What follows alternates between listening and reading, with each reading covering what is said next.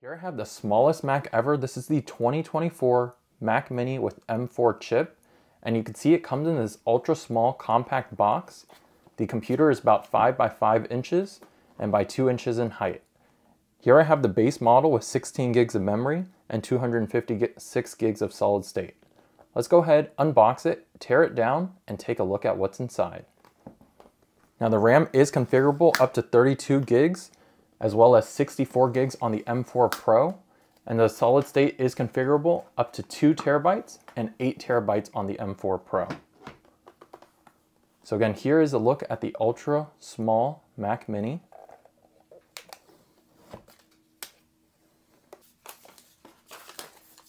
On the front of the device, we have two USB-C ports, the power indicator, and a 3.5 millimeter audio jack. And on the back, we have the power port, Ethernet, HDMI, as well as three Thunderbolt 4 ports. However, on the M4 Pro, these are Thunderbolt 5. And on the back of the device, we have its power button as well as fan. The Mac Mini inputs air from the front half of the grill and exhausts air through the rear half. So without further ado, let's see if we can get inside of this Mac Mini. So it looks like the silicone ring does not hold any screws behind it. That's what we saw with the previous Mac Studio. So our second thought is to use a pry bar and peel up on the back housing. So instead of using a pry bar, a much safer way to do this is to insert something into the grill here, a small screwdriver, and peel up. And just like that, the back left right corner of the Mac Mini is loose.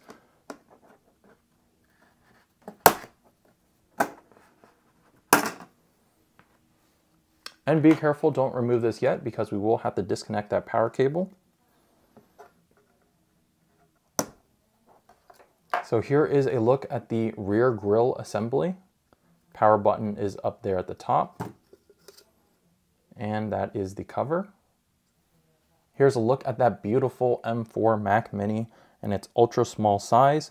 We have a several Torx screws, a heat sink up here, a, fair, a fan that intakes cold air through the front here. We also have, it looks like a button battery here. Let's go ahead and remove these Torx screws and see if we can remove this back cover.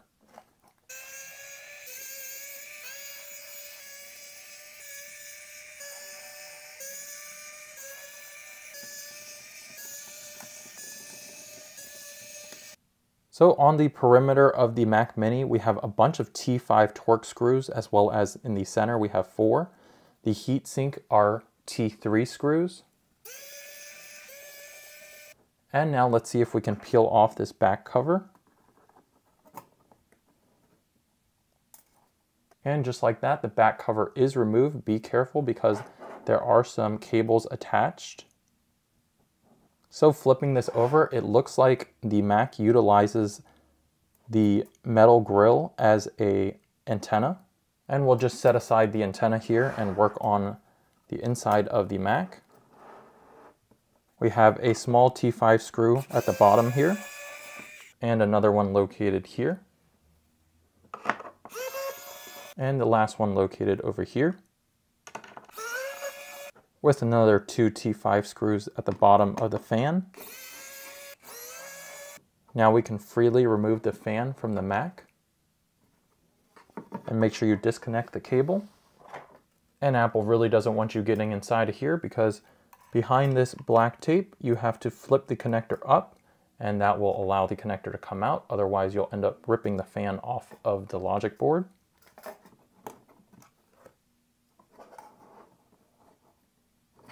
And here we have removed the fan.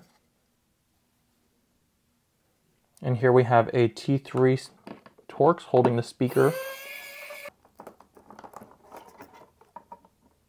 And here's the speaker. Be careful because we do, do need to disconnect a wire back here.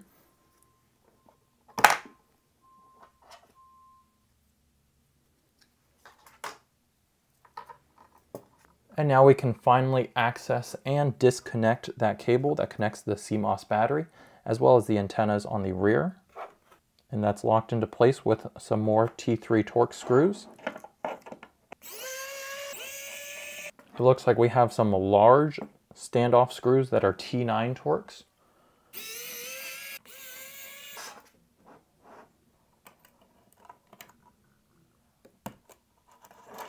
And we finally freed the antenna. And taking another look at the Mac Mini, this looks like the solid state here. Let's go ahead and take that out. And that is using a T9 Torx. And there you go, that's a look at the chip there. And while I'm here, I'm going to remove the rest of those large T9 screws. One's located at the bottom here. Another two on top, those silver screws. And the next thing we'll go for is the heatsink, removing two more T5 screws here. It looks like the logic board is still not budging, so we will remove the front USB-C connectors as well as the audio jack and these two screws on the left. So I've gone ahead and released uh, several T3 Torx screws on the front of the Mac here. And we're going to remove the connectors for those front I.O. ports.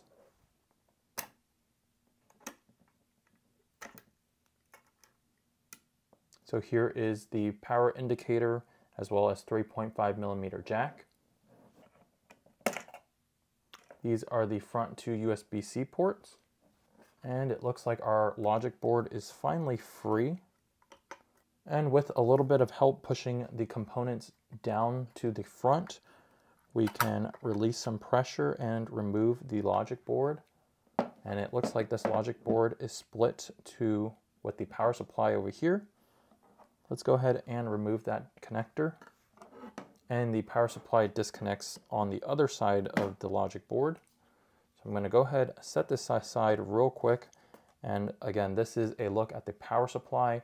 This is very interesting because the power supply is almost as big as the computer itself. If they use the external power supply, we could probably fit or make the Mac Mini a lot smaller. And here is a look at the logic board for the Mac Mini. This is pretty much where all the components go. The SSD was located right here. And it looks like Apple has covered up all their chips with some covers. Let's see if we can't remove those. So the covers do pop off with just a little bit of force. Okay, so the top right corner comes off with a little bit of force. And then these two chip covers are just held in by adhesive. And the back of the logic board has a aluminum plate on it. It is held in by adhesive.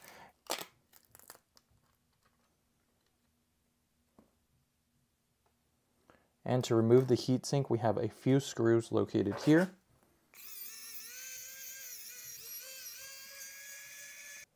These are T5 Torx. And finally, we can remove the heatsink, which reveals the all new M4 chip. And here is a quick look at that heatsink. And here is what you've been waiting for, that beautiful M4 chip from Apple.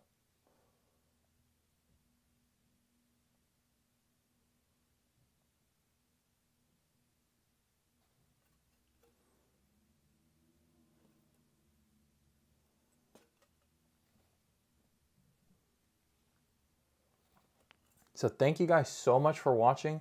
That's going to wrap it up for a teardown on the 2024 M4 Mac Mini.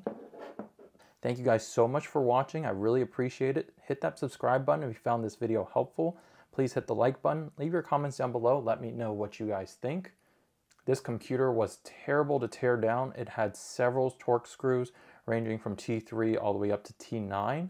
It reminds me a lot of like tearing down an iPhone with several screws, several little components, and it was just a mess. Again, thanks so much for watching.